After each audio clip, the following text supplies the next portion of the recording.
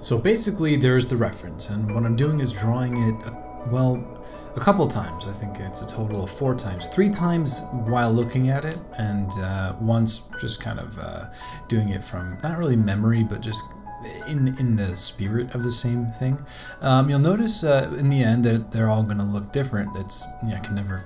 Well, I wouldn't even want to try to make it the same every time, but uh, this process allows um, it to be a warm up as well as you know good practice and trying to uh, you know get better at you know drawing from reference of what and stuff. Blah blah. Yeah. Okay. But um, the reason I'm doing this is because I, I was listening to a, uh, an interview with an artist and they were talking about how their mentor would always uh, you know for paintings or illustrations they would always paint it twice because the second time is always better and so there's something there in that if you do something the first time, you kind of experience the the mistakes and all of the the things that kind of uh, stand out to you. And the second time you do it, it will be a little bit easier. Um, and you know, I do end up painting this. Um, I think that there's a more natural kind of uh, gesture that I'm trying to go for by uh, loosening up, and I think allowing yourself to just kind of start drawing the, the thing or whatever it might be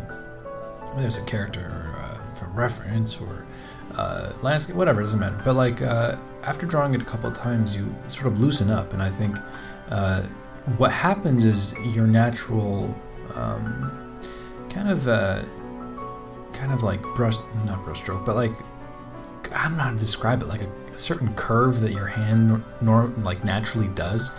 And I compare this often to uh, your signature when you do your autograph. You kind of have a developed kind of uh, finesse to it. But uh, when I'm doing a reference study, uh, sometimes I get caught up in trying to make it accurate, and I think that kind of gets in the way um, of that natural look. So I, I mean, I'm trying to do this as an approach to do it, uh, to to access that natural looking. Um, flowy line work. Uh, you'll you'll see what I'm talking about when you look at the comparisons. I don't, I don't know if it's going to be too obvious, but um, also as I'm doing this later on, I'm loosening up in terms of not being a slave to the reference.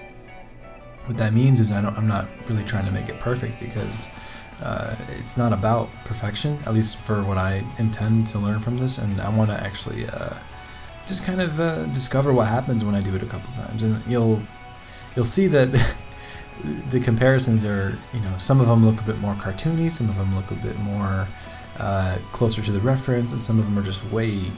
I mean, I only did four, but you see what I'm saying. You'll see what I'm saying.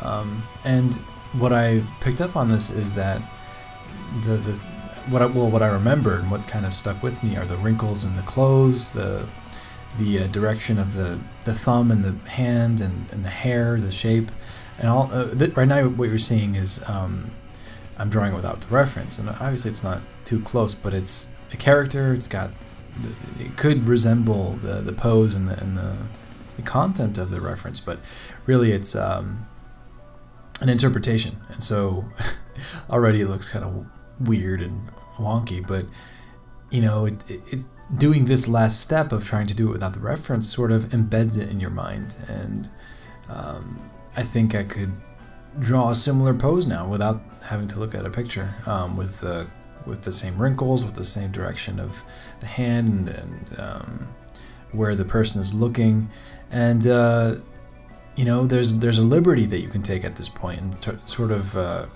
change things up. It doesn't have to be exactly the way you remember it, and so I added that part at the bottom.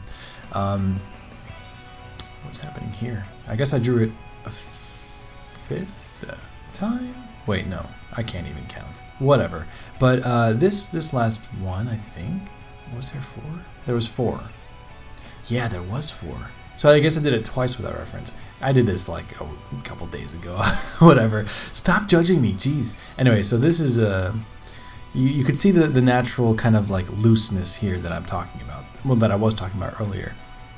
And there's a kind of a I think this speaks more to my pencil stroke or my style, if you will. I don't, I don't know if it's style, but uh, this this is kind of revealed or reveals itself after doing it a couple times. I think um, I wish I could just do that right away, but I have to sort of loosen up and warm up. Um, so if you look at the final drawings, and uh, you know, like I said, it's uh, they're all different. I mean, the proportions of the eyes and the uh, the, the face and how, how big the head is compared to the body on, on all of them are pretty you know different so it varies. And this just just shows like i'm not perfect not that i was even trying to be. Uh, so you know it's a, a fun exercise. Um, and of course so the painted version or the process for the painted version uh, which looks like this um, is included in this as a mini tutorial um, in this term's patreon patreon term thingy etc. All right, uh, so this term's package of awesomeness includes everything from the junkyard battle, and of course some extras. So this video includes sketching ideas of the mech, laying in color for multiple mechs that I end up picking from, uh, painting and rendering that said mech, and then the last part of this uh, time lapse is uh, the character from start to finish. And remember, of course, this term does include the full time, I mean not the full time, the full real-time footage. I really gotta stop recording this stuff so late at night. It's like 3 a.m. Alright, anyway, uh,